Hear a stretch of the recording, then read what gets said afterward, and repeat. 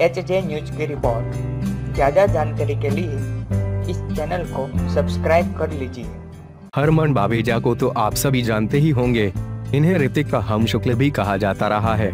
लेकिन क्या आपने कभी गौर किया कि वो कहाँ गायब हो गए हैं, और किस हाल में हैं? दरअसल, हरमन बावेजा हाल ही में बांद्रा एक रेस्तरा के बाहर स्पॉट किए गए।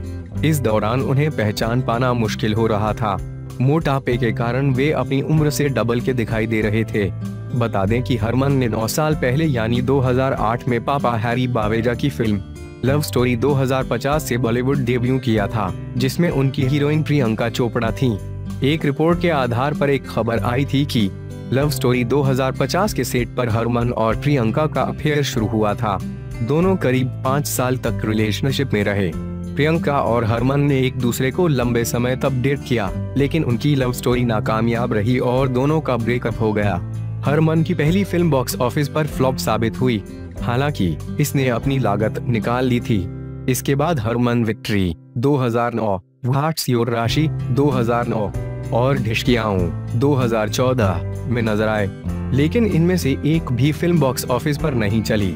हरमन ने पंजाबी एनिमेटेड फ़िल्म चार साहिबजादे में वॉइस ओवर भी किया था। वैसे तो हरमन ने अपने करियर में मात्र पाँच फ़िल्मों में काम किया है, लेकिन उनकी पाँच जो फ़िल्में फ्लॉप रहीं। शायद यही वजह है कि हरमन ने बॉलीवुड से दूरी बना ली।